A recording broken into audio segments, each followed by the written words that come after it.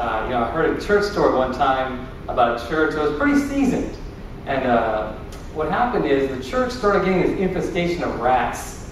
And they were coming throughout the church. And it got so bad that the numbers started dwindling in the church. And so there was a board meeting between the elders and the pastor because they were getting very worried. They're like, okay, this church has rats. We've called distinguishers. What are we going to do? And so one of the elders stood up, banged the table, and said, This is the judgment of God. This is what happens when we aren't being faithful. There's men in here living in sin. You need to confess. That's why we have rats. And another man of God stood up and he just kind of pushed that guy and said, How could you say that?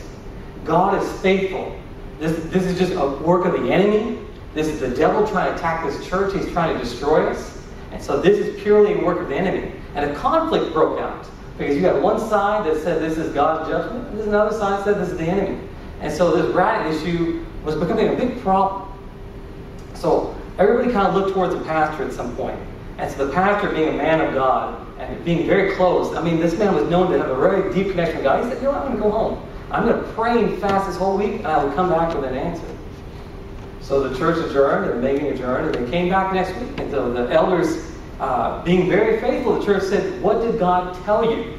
What did God tell you? The pastor rose and said, God has answered me. We're going to offer the rats membership and they're only going to come twice a year on Easter and Christmas problem solves. So uh, I, I, was really encouraged by that story. Anyway, I'm lot of feedback, please. Anyway, so as you know, we as a church, we have our own situations, and I believe as a church, we we all come from our own background. We all have our own situation, our personal lives, and when we come to church, I believe that God should give us an answer. That I think more than just you know stories and jokes, we want to really dig in and, uh, you know, I, I told you that from the very beginning, the outset of this ministry was to empower each of us to go outside and to be like Christ. And whatever he did, and wherever Jesus went, he met the needs of the people. You know, even the adulterer, you know, they were ready to kill her. And Christ uniquely broke through with not even just a sign or miracle. He just said, Tell you what, you guys are so judgmental. You'll go ahead. Who are the first who without sin go ahead and throw a stone? And he literally saved her. So Christ continues to show ways to to be a, light to this world in a variety of manners. It wasn't just an argument. He just showed by love he could do many things. But as we continue to grow this church and begin our new journey, what I want to do, as I said uh, two weeks ago, is we want to start to create some foundational truths. And with those truths, I believe that when we get that foundation built, even Paul says in Corinthians, as a wise master builder, you know, he had plans from God. He was able to build that church. And so I believe that if we can get some basic truths into everybody, that we can begin to go and understand deeper truths of God, and we can begin to work the way Christ did for his church, for his people, those who are called to minister to. You know, I talked to many times, I believe many of you guys are called to minister to your workplace. Uh, if you are at a job, that means God gave you that job. I believe that God has called you there to minister there. Either to even one coworker's marriage stage is an amazing thing. So, as we begin tonight, I want to remind everybody what the goal is, what our vision is. And to re- just to kind of repeat myself, it's to, to literally encourage, to train, to raise up people inside this church to go outside and be like Christ. So the scripture I want to talk about tonight is going to come from, our, from John chapter 3. John chapter 3, of course, everybody remembers is very famous because it's the, uh, the new birth. Everybody familiar with that. Everybody likes John 3.16. But John chapter 3 is very famous, being, you know, the scripture about him born again, being born again. And that, that famous scripture there uh, begins with a conversation with Nicodemus and uh, between him and Jesus. Before I start there, before I begin, um, I know we're talking about stories here, but I want to give just one more story. I think that will give us an idea before we begin tonight. It's a simple story. I'll, uh, I'll show you guys that when you have this story in mind, we'll begin the message. In the Old Testament, there's a story about a young boy He's a young boy, he keeps sheep. So he's a keeper of sheep. And he's outside. He's the youngest brother of many brothers. And as he's keeping sheep, he has a family. And they're not rich. The Bible doesn't say anything about him being rich or special or anything. But while he's out there attending his sheep with his family, another man named Samuel has a conversation with God. And God tells this man, Samuel, who is a prophet, I want you to go and tell a young guy that he's about to become a king. Now, this young boy has no clue that this conversation is happening. But outside of his knowledge, a man of God and God himself are having a conversation. And that guy identifies him as a king. And from that moment on, God saw that young boy as a king. It had nothing to do with David. David wasn't aware of it. But from that moment on, David, I, I use the name, but David became a king. So David had no clue this was happening. And that's a scriptural story that is alive today. We talk about Jesus Christ being son of David. And so that story is going to illustrate my sermon today very simply this. We have an identity with Christ, whether we know it or not. A conversation happened between God and Jesus to choose us. And I'm going to show you why that's so pivotal. When you understand who you are in Jesus, then everything becomes easier. At least at the very onset, you'll, be, you'll understand that everything you've been chosen for has already been given to you. And that conversation happened not necessarily in your hearing, but it, it was set in motion, and nothing's going to stop it. As much as David was chosen king by Samuel, without David's understanding, without his awareness, it had to come to light. You've been chosen, and I'm going to show you what's important. Let's look at John chapter 3. John chapter 3, if everybody wants to start with me. We'll start with the first few verses. There was a man of the Pharisees named Nicodemus, a ruler of the Jews. This man came to Jesus by night and said to him, Rabbi, we know that you are a teacher from God, for no one can do these signs that you do unless God is with him. Jesus answered and said to him, Most assuredly I say to you, unless one is born again, he cannot see the kingdom of God. Nicodemus said to him, How can a man be born when he is old? Can he enter a, a second time into his mother's womb and be born? Jesus answered, Most assuredly I say to you, unless one is born of water and from the Spirit, he cannot enter the kingdom of God. That which is born of the flesh is flesh, and that which is born of the Spirit is spirit. Do not marvel that I said to you, You must be born again. The wind blows where it wishes, and you hear the sound of it, but cannot tell where it comes from and where it goes. So is everyone who is born of the Spirit. That's John chapter 3. Now, I want to look at this conversation, but let's open in prayer and we're going to get started. Lord, I know that your Spirit is here, and God, where you are, your name is here. We thank you, Jesus, for this meeting. We thank you for uh, Willow Meadows Baptist Church and all their help, Lord God. But today, Lord, there's a, there's a great calling that you want to set forth into motion, and you want to show us who we are in Jesus Christ, and you want to show us what you did for us on that cross and how much it means. Lord God, I pray for the ears to hear. Lord God, that you would fill them with the Spirit of God as we speak, Lord God, and you would show them, you would open their eyes. Lord, let not this just be a message about words, but let it be the kingdom of God become real and manifest in their lives, Lord God. Thank you, Jesus. Amen. So this is an interesting scripture. Now, I've read this from as many years as I can count. You must be born again. We say we're born again Christians, right? I think everybody in here is going to say, we're born again. We're born again by the blood of Jesus. When I read this just today, and I looked at it again, and okay, so what does it start with? It says, Nicodemus says very clearly, Rabbi, we know that you're a teacher come from God, for no one can do these signs unless God is with him. No one can do these signs unless God is with him. And he says, We know that you're from God. Simple as that. That's fair. I mean, that's a good question, right? We see Jesus Christ, and he begins to do all these things for the people, lost people. He didn't care if they were saved. He healed lepers, he healed sick people, he preached the gospel. His goal was to bring them into heaven, to redeem them. So he says, Well, man, he's basically asking, How do you do that? We know you're from God. What are you doing? Like, what, what is this that you're doing? This is new to us. And Jesus gives an answer that doesn't make sense. And hopefully, I'll tell you what makes sense today. He said, You must be born again. Does that, that mean, okay, if I, if I prayed for somebody and they got healed, and you asked me, Michael, I'd like to pray for the sick too. I said, You must be born again. That's kind of a weird answer, right? He basically says this What is flesh is flesh, and what is spirit is spirit. You must be born again of the spirit. It's a strange answer, the way I see it. He goes, Man, I know you're from God. You're doing great things for Jesus. You're doing great things for God. We know you're from God. And he looks at him and says, You must be born again of the Spirit. I want to dissect that a little further. He said, What is spirit is spirit, and what is flesh is flesh. Okay? What is spirit is spirit. I want to tell you just three basic points tonight that I think when we're through tonight, you'll, you'll feel very different about your salvation. I think by the time we close this message, you'll see your salvation a little differently. Now, everybody in here is a product of their parents. I know that because you can't be created. You're a product of flesh. Your mom and dad came together, and you're a product of that. So, what is flesh in this room is a product of flesh. Simple as that. That's what Jesus was saying. What is flesh, what you see, is a product of something fleshly. But what is spirit is a product of what is spirit. I'm going to tell you the first point is when you came to know Jesus Christ, Jesus changed you completely. You have a new identity with Christ. You have a new identity with Jesus Christ. What do I mean? How did Christ come into this world? Right? We all know the story, right? Matthew 1 and Luke chapter 1. Both of them talk about how Mary was in a room and the angel Gabriel came in and said something very clear. I'll, I'll read it to you if you'd like to hear it for, for what it is. It says, the Mary, and he basically said, You're going to have a son. And she wasn't married yet, so she was a little confused. So Luke chapter 1, verse 34 says, Then Mary said to the angel, How can this be, since I do not know a man?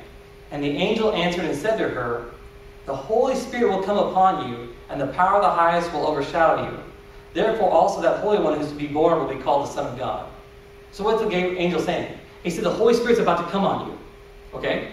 Matthew chapter 1 says, when Joseph, the father of David, was confused about this, I'm going to skip ahead. He says, Do not be afraid to take Mary, your wife, for that which is conceived in her is of the Holy Spirit. Okay, I'm going to slow down. Getting some stairs here. Jesus is a product of what? The Holy Spirit. Simple as that. A Holy Spirit touched Mary and created Jesus. So you're a product of your parents, a man and a woman came together, you're a product of that. But your salvation is a product of what? The Holy Spirit. Do you see how you're more like Jesus than you realized? This is so key. I had to slow down here because we'll go ahead, but I, I got to make sure you get this. You're a product of the Holy Spirit, the way Jesus Christ is. Now, I'm not being sacrilegious. I know last week there's some comments made, so I want to be careful. I'm not calling you Jesus, but you are closer to Jesus than you ever realized.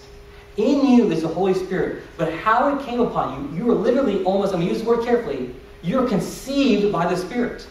John chapter 3, we said the new birth, you must be born again of the Spirit. Nicodemus was confused because he said, How can a man be born a second time? Does he go back to his mother? And Jesus was being a little tricky. He said, No, no, no, Nicodemus, you don't get it. You're going to be born again of the Spirit. Jesus Christ is born of the Spirit. Does anybody agree with me? Does that, that make sense? You are born of the same Spirit that Jesus was. So when you came to know Jesus Christ through your salvation, you have a completely new identity. I'll, I'll explain it this way. My last name is Boaz, Michael Boaz. Jerry is Jerry John, Isaac Saravia. Your, uh, the last name is a product of your parents. But when the Holy Spirit came on you, you have a new name. And Revelation says, I'll give you a new name. But do you ever think about that? That if Jesus was conceived of the Holy Spirit, that meant you were also conceived of the Spirit. Now, maybe not identical the way Mary was a virgin, but your salvation is a product of it. So you have a new identity. And I say this is key because we're going to continue going down this road for a long time. And I'm going to show you things that are going to be very advanced and very powerful. But it won't work if you don't know Jesus. But more than just confessing the name of Jesus, you've got to realize your salvation is a product of the Holy Spirit. You are literally created by the Spirit of God. The Spirit inside of you has been it's come from the Spirit. I'll show you. How did God originally design us? I'm going to tell you this is what God wanted all along. I'm going to show you that. Genesis chapter 1, verse 27. That's a creation story, right? Now we're talking about creation. Now all of you guys are kids in some sense. You are children of your parents. Genesis 1.27 says, So God created man in his own image. In the image of God, he created man. Male and female, he created them. Do you catch that? When God first made mankind on this earth, he intentionally said, Be like me. So, what I'm telling you from John 3 is that I'm not bending verses here. This is a restoration of this intentional, intentional design. You have to be Christ like. God made you Christ like. That was the plan all along. This idea says God made you the image of himself. Jesus Christ, when Philip asked him, hey, Jesus, I'd like to see the Father, he told Philip, Man, have you been with me so long? I'm the image of God. Jesus is the image of God. We're made like Jesus, who is in the image of God. Now, this verse is funny too. It says, So God created man in his own image. In the image of God, he created him. Do you realize that's circular? Do you realize he just said the same thing twice? Do you know why he said that? What does God call himself? I'm the author and the finisher of your faith. I'm the Alpha and Omega. I have the keys to hell and Hades, and death and Hades. God saying, I started something, I'll finish it. Well, he started us this way. We had never sinned. If Adam didn't sin, we remain this way. And God came back and said, I'll finish it with Jesus Christ. Do you realize that? He started it and finished. He said it twice. Hebrew has its own thing. Do You remember even um, in Dan- the book of Daniel, I'm going to take a side note, when the writing was on the wall, it said, uh, Mene, Mene, Tekel, Parsin." Do you remember that? Mm-hmm. It, you know what the translation was? God counted it and finished it. He repeated the Hebrew to say you started and finished it. I'm going to shamelessly tell you, he started something and finished it. He started something for us. We dropped the ball. He brought it back through Jesus Christ. You've got to realize, when, when we talked about 1 John chapter 2, verse 6, I said, he who abides in Jesus must also walk like him. I told you that's our mandate for this church. And if you don't realize that Christ has made you like him, it's going to seem very difficult to be like Jesus in this world. It's going to seem like, man, you know, this guy's screaming at me. I got a coworker around my back. I got another guy cussing me out at work. It may not seem very easy to do, but I'm telling you, if you begin to change your identity and see who you are as Christ instead of a fallen man, instead of seeing yourself as a multitude begging at the window knocking, Jesus himself came to finish this for you. You realize that? He came to do this for you. He wanted you like him again.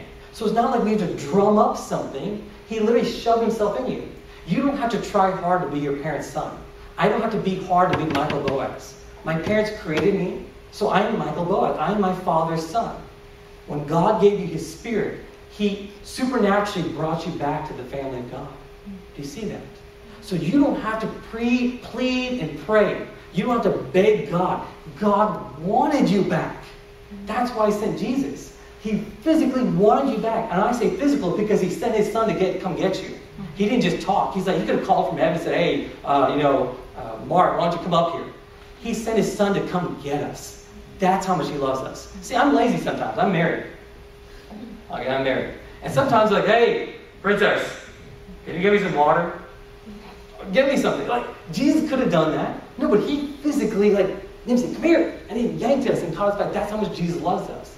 And his love was more than talk, it's a reality and it's spirit.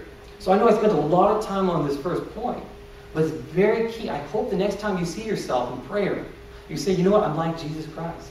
And that's not heresy. It was his plan. He wanted you back like him again. So it's not a bad thing to say that. That's what we say we're Christians. We're like Christ. I'm not saying I'm Jesus, that's heresy. But I'm like Jesus. I want to be like Jesus in my faith, in my walk, in my prayer and the way I treat people. And my goal is the same goal Jesus has. I want to see people saved. I want to work the way Jesus worked. We don't have to separate ourselves. Sometimes we feel like, okay, only Jesus could have lived like that. Only he could have only been the only one to, to save somebody, to raise the dead, to open a blind eye, to heal somebody. But th- the goal is for us to understand it. So we'll, we'll leave that alone, but I'm still going to hammer that in later on. That was the first point. You have to realize you have a new identity. I'll tell you what, there's books and books on this about new identity in Christ. The second point is I want to show you God wanted to do it for you before you even knew Him. Does it make sense? God wanted to do this before you knew Him.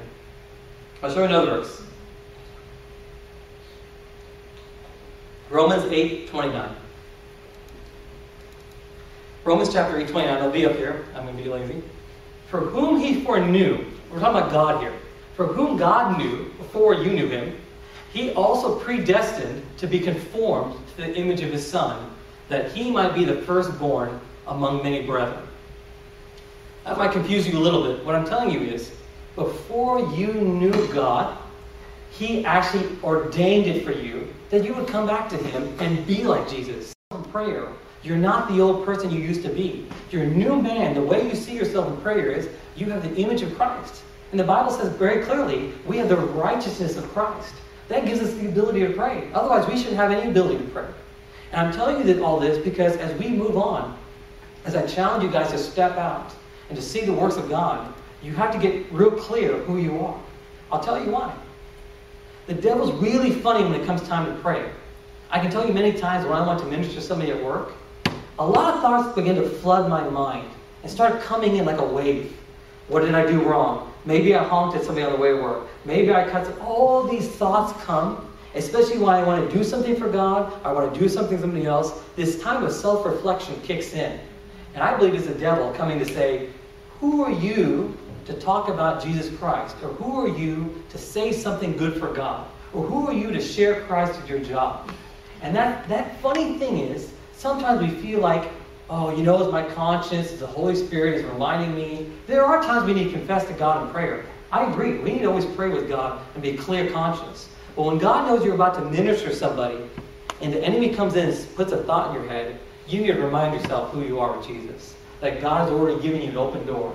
That He came and remember I said He physically came and showed up, pulled you back, and asked you to be in His family. And so the enemy finds a way to trick you. And so this is something we'll have to remember in the weeks to come that God wanted you to do this. Because that's why he said, I'm predestined for you. I wanted you to. This was my plan all along.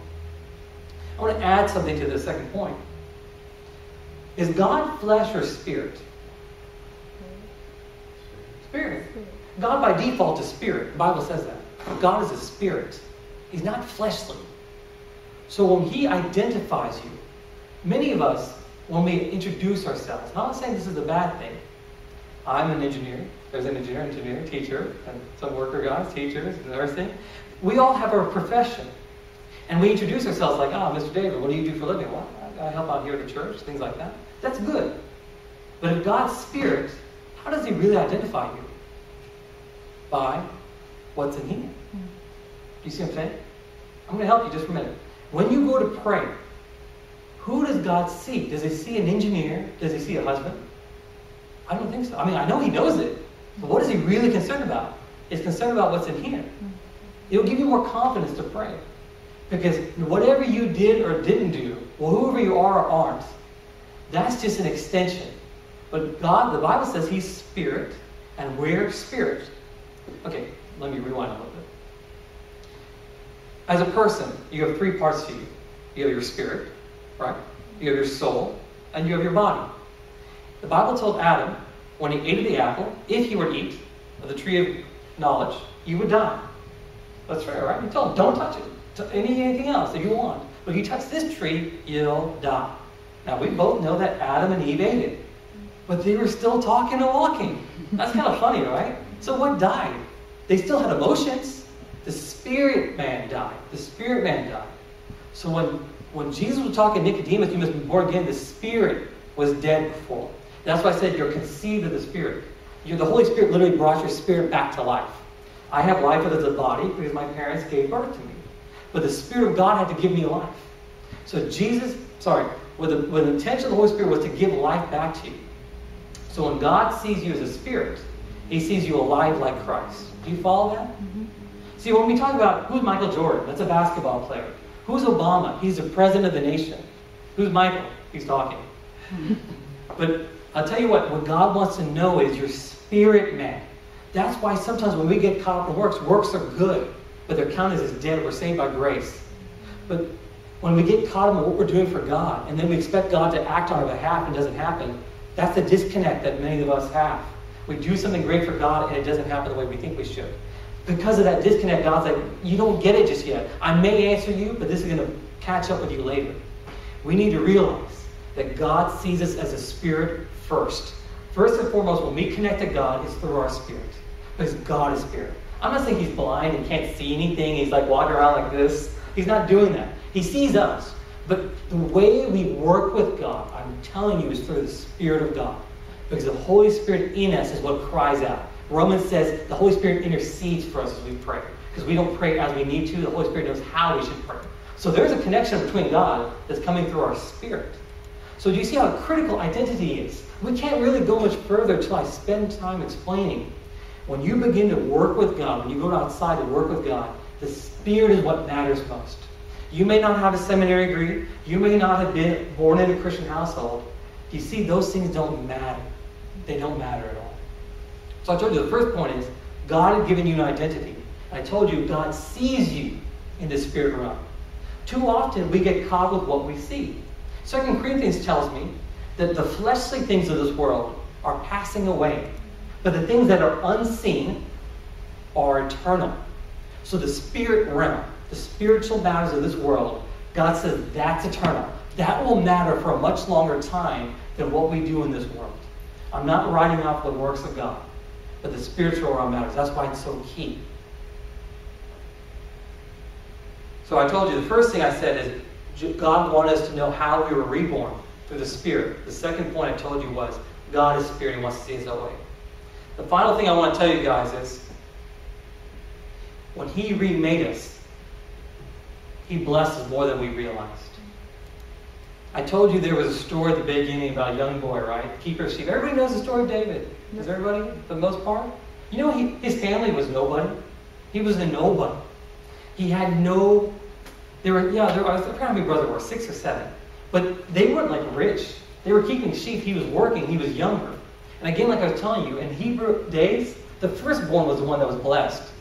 The firstborn should have been the one chosen. In any family, that's the one where the, the double portion goes. That's where the inheritance goes.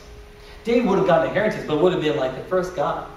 So when God picked David, he was doing something very unique. See, David's a funny example. David continues to show something special in the Old Testament that was a, was a picture of what was God going to do in the New, New Testament. I'll say that one more time. What you see God do with David was a good picture of what God was doing in the New Testament. I'll remind you, David had no clue he was about to become a king. He'd never heard the conversation. That was a private conversation between Samuel and God.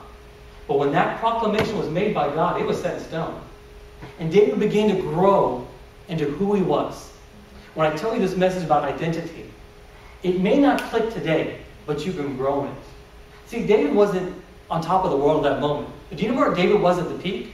The entire known nation, all the seven countries, the Canaanites, the Hittites, the Jebusites, the Girgashites, the Philistines, do you know what? They all basically had to bow down before him. He was king. So David had to grow into who he was going to be. I'm telling you, we as a church, we as a people of God, must grow into who we're going to be. And I told you, you see that with David. When David started, there was no royalty in his family. He didn't know what was going on. It didn't matter who he was. God chose him. When we get to the new covenant, we call this new covenant gathering. Let me tell you what God calls you. Remember, I told you that God gave you new identity, right? Up to now, I've been saying He's giving you an identity. You're like Christ, you're like Christ, you're like Christ. But God didn't stop there. Let me show you just how good God is. I'll read you a few verses. 1 Peter chapter 2, verse 9. It's talking about us. But you are a chosen generation a royal priesthood, a holy nation, his own special people, that you may proclaim the praises of him who called you out of darkness into his marvelous light, who, were, who once were not a people, but are now the people of God, who had not attained mercy, but now have obtained mercy. You know, he's talking about us. That's, that's amazing. Do you think he's bragging about you? You don't look it. It's okay.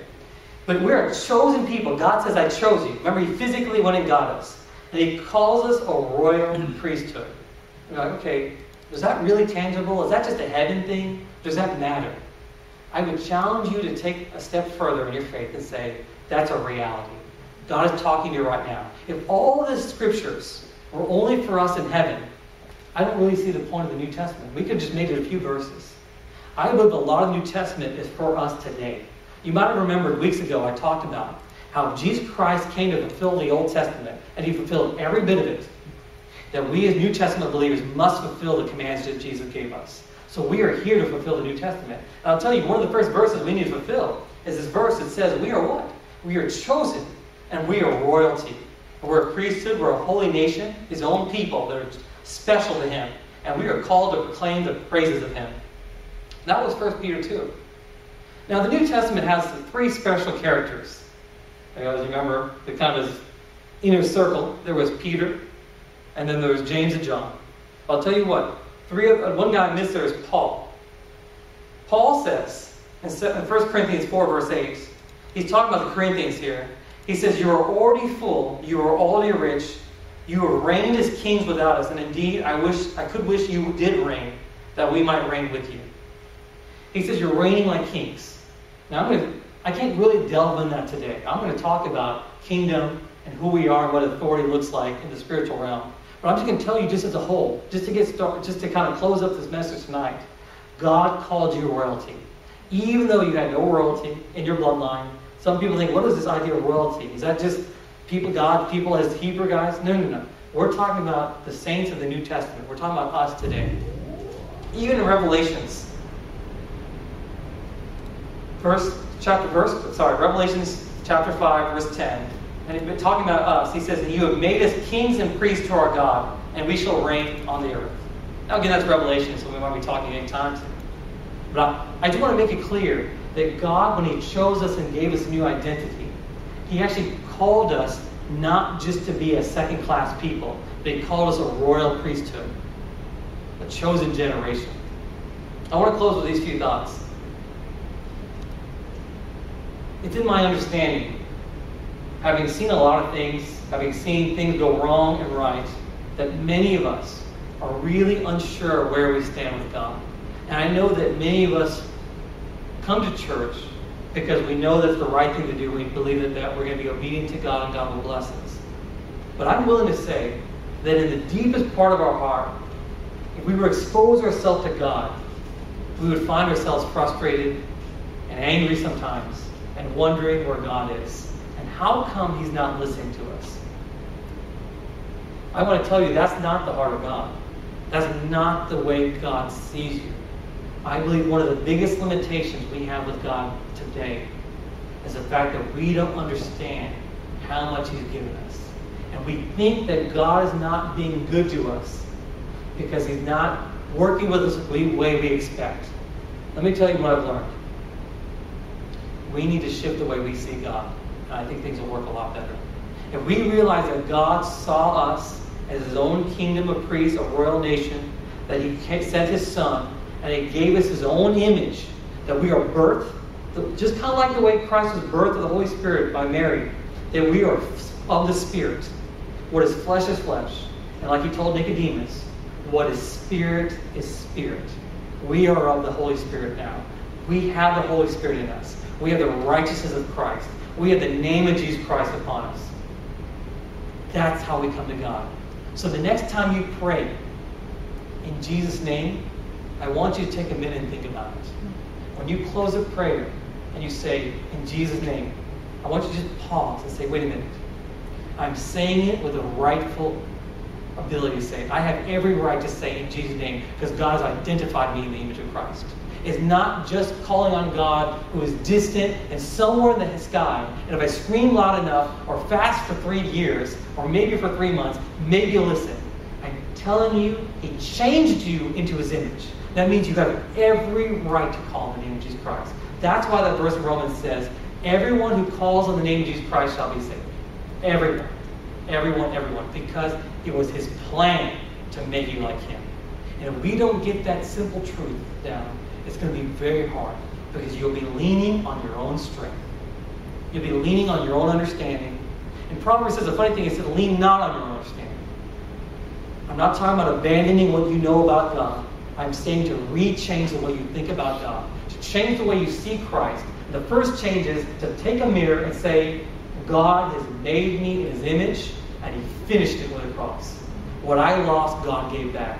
And the Bible says very clearly, what God has taken, no man can take from him. John 10 says that God, nothing that can take from God what he's given us. It's in his hands. No one's going to take it back. Adam may have lost it, but the second Adam, Christ, has restored it. I want to close in prayer, but I want to close with this thought. I want you guys to just meditate. We're going to close in prayer, but I want you to just meditate on one of your deepest needs with God. Whatever it is, it's between you and God. Whatever your deepest need is. Whether it's just a reconciliation between you and God, whether it's a reconciliation with you and another person, between your a family member or a brokenness in your life. I want you to believe, as much as God told me you speak to you today, that God wants to prove himself tonight. That God wants to show you who you are. And it's not going to be me leading you prayer. I'm going to ask you go to God right now and say, Jesus, my Lord, you've made me like you. I want to pray with understanding. Just whatever it is you have in your mind, whatever it was that was just seemed impossible to get from God, just pray right now. Just hold and pray. Don't worry about me talking. Just focus on God for a minute. Just focus on God say, Lord, I realize that you give me your spirit. I'm conceived of the Holy Spirit. I'm in your image. And now I ask, in Jesus' name, it has to happen. It has to happen. And you tell them, it has, by your word, it has to happen. It has to happen. I am your son. I'm your daughter. I'm in your image. I'm brought back in the family of God. I have perfect relationship. I am in fellowship with my God now. I am not jumping. I'm not screaming. I'm not coming across the table. I'm not asking somebody in disguise. I'm talking to my friend. And he hears me, and he's giving me every right to ask. I'm asking you, don't leave this room until you come to God and you say, I need to see this change. I need to see this month, I want to see this change. This season, and this resurrection season where Christ beat death. He can, he can beat death, he can beat whatever you're dealing with. And this season is the best time to call on God and say, You destroyed death, it couldn't hold you down. You nothing I got in my life can hold can be held back either. You can beat it. Lord Jesus, you can beat it. And you call on Jesus' name. When you pray against that problem, you speak to that problem. And you say, whatever that problem is, if it's a work situation, if it's a finance, if it's a health issue, you speak to that problem. You say, In Jesus' name, leave my family. In Jesus' name, leave my body. In Jesus' name, leave my parents. Don't touch them again. In Jesus' name, get your hands off my husband or get your hands off my wife. Whatever it is, whatever sickness is, in Jesus' name, get off my family. You tell God that. You tell that enemy that. Whatever is touching them. Speak to us, say, In Jesus' name, I have the righteousness of Christ. I'm in the image of God. I have his name on me. I am recreated. God sees me as his son or his daughter. Now, in Jesus' name, get out. Leave. It will obey you. You need to know where your authority comes from. It's from Jesus Christ. And you have it in you. Because Jesus, the Holy Spirit, dwells in you. Just pray for a few minutes. Don't let up. Don't let up. Don't walk out of here without something that touches your heart. You need to know you're different.